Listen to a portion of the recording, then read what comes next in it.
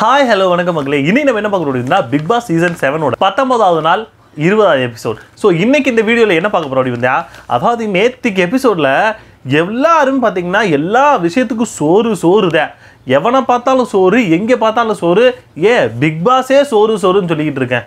அதான் நான் எங்கே பார்த்தாலும். எப்போ பார்த்தாலும் சோறு சோறு சோறுன்னு. ஸோ அதை பற்றி தான் இன்றைக்கி இந்த வீடியோவில் பார்க்க போகிறோம் ஸோ வீடியோ முன்னாடி யாரும் சப்ஸ்கிரைப் பண்ணாம இருந்தீங்கன்னா முதல்ல போய் சப்ஸ்கிரைப் பண்ணுங்க. கூடவே அந்த பெல் ஐக்கனை கிளிக் பண்ணுங்க. அப்போ தான் நான் போடக்கூடிய வீடியோஸ் அப்டேட் வந்து உங்களுக்கு கிடைச்சிக்கிட்டே இருக்கும். ஸோ வாங்க வீடியோக்குள்ளே போகலாம்.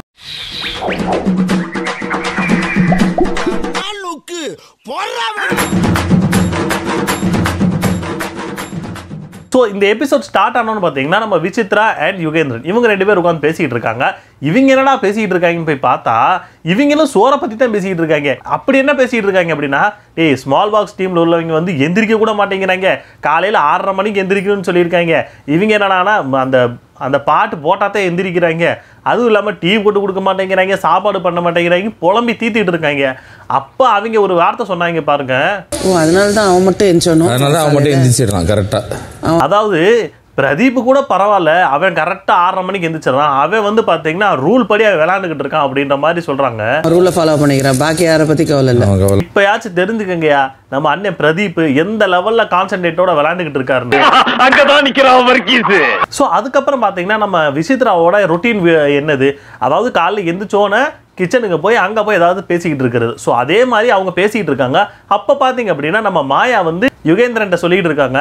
பூர்ணிமா வந்து நீங்கள் வந்து வைஸ் கேப்டன் டிசைட் பண்ணுங்க. அதாவது ஸ்மால் பாஸ் வீட்டுக்குள்ளே லீடராக வந்து பூர்ணிமாவை நீங்கள் வந்து போடுங்க அப்படின்னு சொன்னால் ஓகே இதில் என்ன இப்போ பெரிய ஒரு இது ஒன்றும் கிடையாது. ஓகே பூர்ணி ஸ்மால் பாக்ஸ் வீட்டில் லீடர் அப்படின்ற மாதிரி அவர் சொல்லிடுறாரு. அதுக்கு நம்ம மாயா ஒரு வேலை பார்த்தாங்க பாருங்க.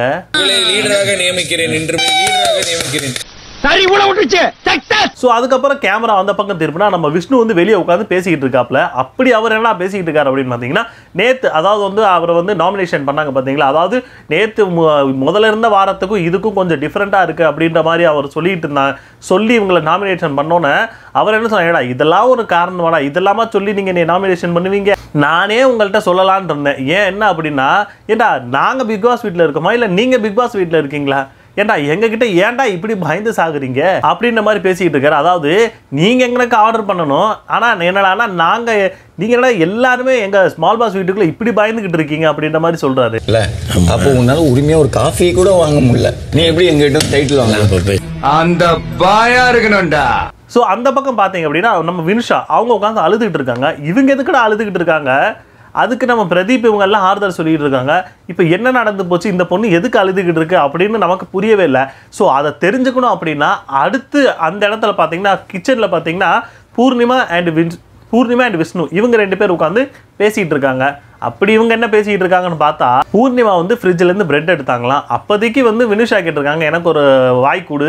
கடி கொடு நான் சாப்பிட்றேன் அப்படின்னு இல்லை இல்லை வேணால் நீங்கள் எடுத்துக்கங்க ஃப்ரிட்ஜிலேருந்து எடுத்துக்கங்க அப்படின்னு சொல்லி அதுக்கு இல்லை இல்லை கேப்டன் வந்து திட்டுவார் அப்படின்னு சொன்னோன்னே அப்படின்னு ஏதோ ஒரு பேச்சு போயிருக்கு போல இருக்கு ஸோ இதனால அந்த பொண்ணு வந்து அழுதுகிட்டு இருக்கு அதுவும் இல்லாமல் மற்றபடி பர்சனல் இஷ்யூ ஏதோ இருக்கு போல இருக்கு ஸோ அதனால அந்த பொண்ணு அழுதுகிட்டு இருக்கு அப்படின்ற மாதிரி பூர்ணிமா வந்து விஷ்ணுகிட்ட பேசிக்கிட்டு இருக்காங்க அப்போ வந்து இவங்க ஏதோ சாப்பிட்டுட்டு தான் இருக்காங்க சாப்பிட்டுக்கிட்டு இருக்கும்போது விஷ்ணுக்கு ஊட்டி வேற விட்டுக்கிட்டு இருக்காங்க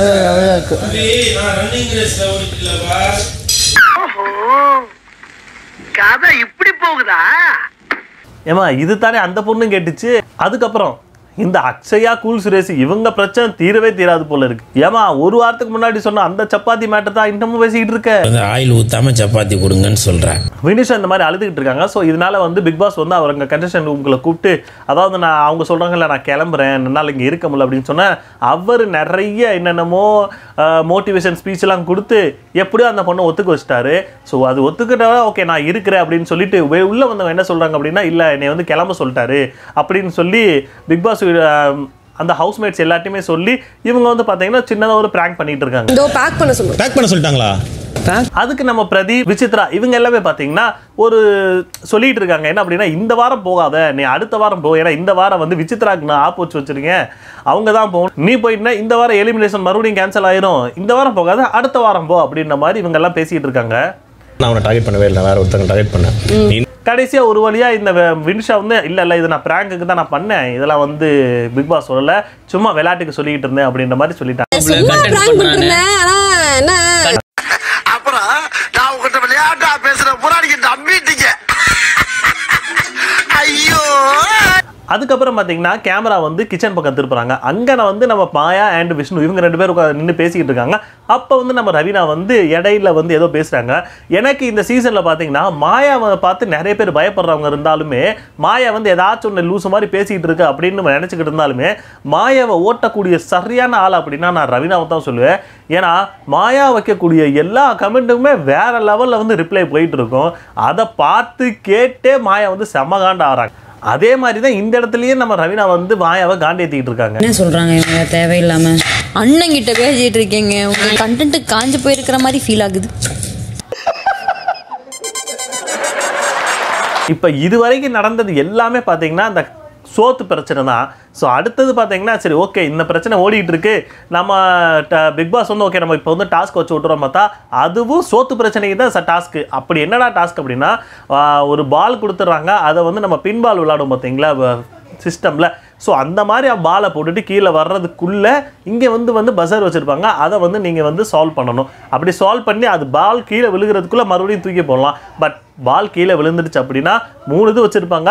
மூணு பேரில் ரெண்டு பேர் கீழே விளையாட்டிக்கிட்டிங்கன்னா முடிஞ்சிச்சு. இந்த அப்படி தோத்ததா அர்த்தம்?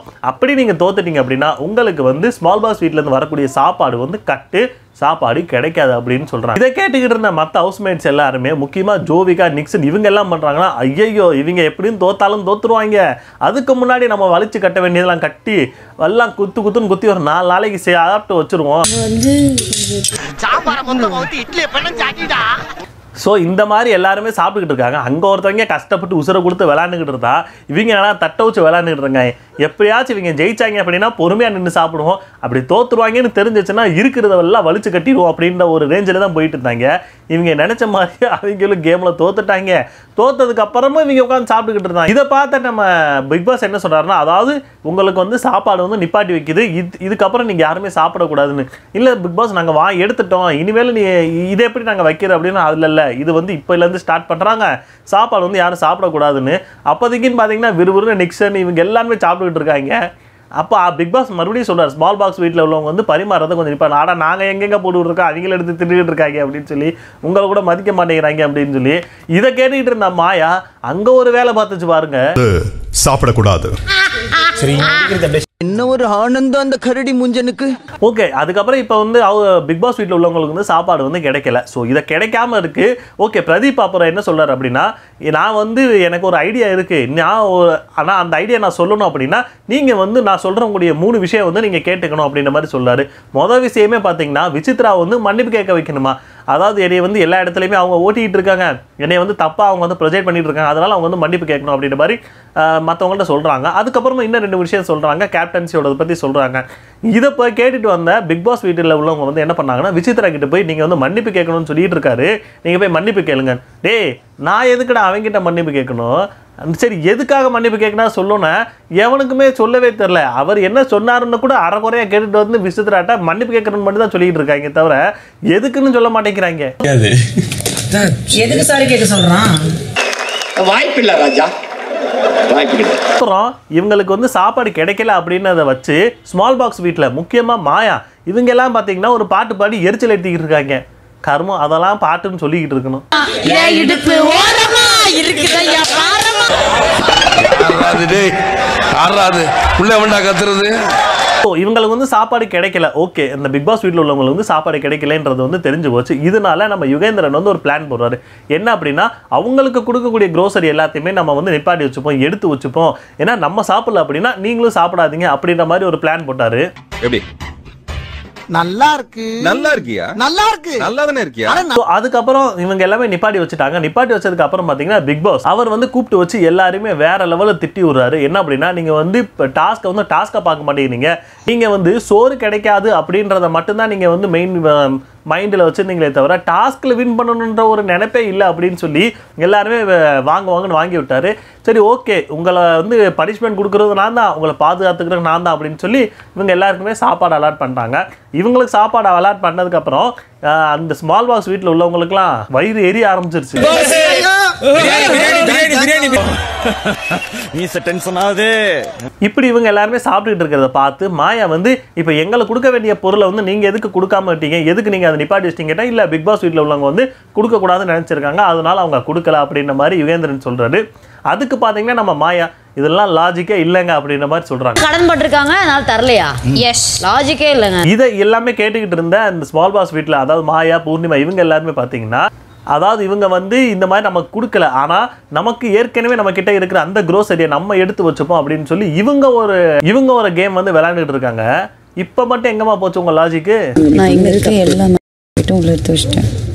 உனக்கு வந்தா ரத்தம் எனக்கு வந்தா தக்காளி சட்னா அதுக்கப்புறம் இவங்க ஸ்மால் பாஸ் வீட்டில் உள்ளவங்கெல்லாம் நீங்கள் யுகேந்திரன் பார்த்து நீங்கள் வந்து பயாசா விளாண்டுக்கிட்டு இருக்கீங்க. நீங்கள் வந்து உங்களோட முகம் எங்களுக்கு தெரிஞ்சு போச்சு அப்படின்ற மாதிரி இவங்க சொல்ல ஆரம்பிச்சிட்டாங்க. அது மட்டும் இல்லாமல் நீங்கள் எப்படிப்பட்டவனு வேற சொல்கிறாங்க சில உண்மை தெரிஞ்சிச்சுல இப்படி சொல்லிட்டு இருக்கும்போது ஆமா நான் அப்படியே இருந்துட்டு போறேன்னு யுகேந்திரன் சொல்லோன்னு நம்ம மாயா பார்த்தீங்க அப்படின்னா டிக்சன்ட்ட அதாவது இந்த மாதிரி ஒரு பாட்டு வந்து நீ ரெடி பண்ணில நீ இந்த மாதிரி பாட்டை ரெடி பண்ணு அப்படின்னு சொல்லி அவங்க ஒரு சேஞ்ச் பாட்டுக்கு வந்து சேஞ்ச் பண்ண சொல்லிட்டு இருக்காங்க. சாப்பாட்டுல கை வச்சா எவிக் சூன் அப்படின்னு அதை மட்டும் மாத்திருங்க ஓகேயா எனக்கு வேலை இருக்கு.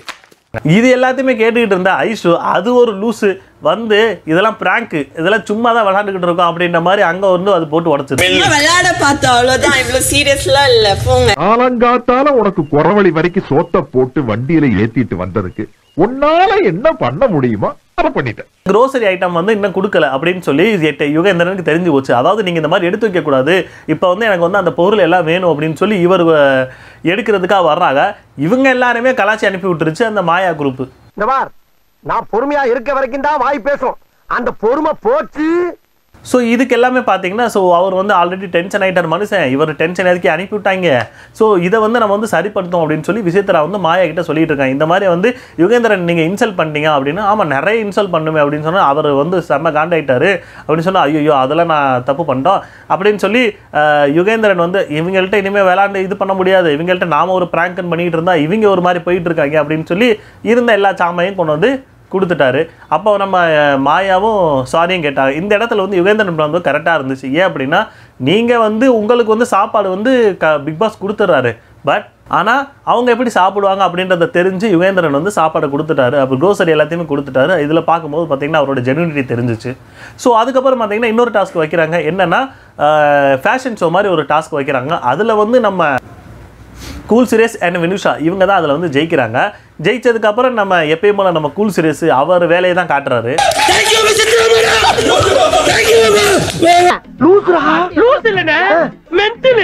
ஸோ அவ்வளோதான் இந்த எபிசோட் இந்த எபிசோடில் நிறைய பார்த்தீங்கன்னா சோறு சோறுன்னு சோறு பிரச்சனை தான் ஓடிக்கிட்டு இருந்துச்சு. மற்றபடி வேற எதுவும் இருந்த மாதிரி தெரில உங்களுக்கு இந்த எபிசோடில் என்னென்னலாம் பிடிச்சிருந்துச்சு நம்ம வீடியோ உங்களுக்கு பிடிச்சிருந்துச்சு அப்படின்னாலும் கமெண்ட் செக்ஷனில் கமெண்ட் பண்ணுங்கள் ரொம்ப பிடிச்சிருந்துச்சு அப்படின்னா நம்ம சேனலுக்கு சப்ஸ்கிரைப் பண்ணி வச்சிருங்க.